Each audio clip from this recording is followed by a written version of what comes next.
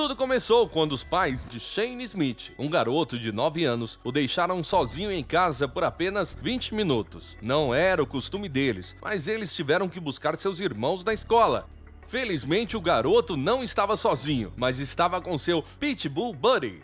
Quando Shane escutou um barulho na porta, imaginou que seria sua mãe. Mas na verdade era um bandido. Ele estava tentando forçar a trava da porta para poder entrar. Depois de alguns minutos, ele conseguiu entrar na casa. Ainda não se sabe se suas intenções eram roubar ou fazer algo com o garoto, mas Shane sabia que deveria se afastar dele o mais rápido possível. Tudo começou em um instante e fiquei com muito medo. Não havia mais ninguém na casa, eu só tinha meu cachorro para me proteger. O homem começou a subir a escada perseguindo o garoto, mas ele não esperava que Buddy também estivesse lá.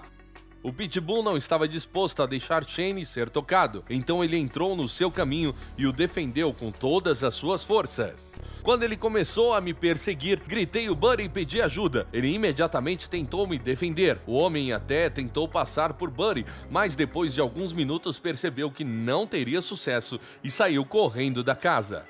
Foram momentos tensos, mas Shane e o cachorro conseguiram sair são e salvos. A família, logicamente, recompensou Buddy pelo seu ato heróico, com muitas guloseimas e carinho.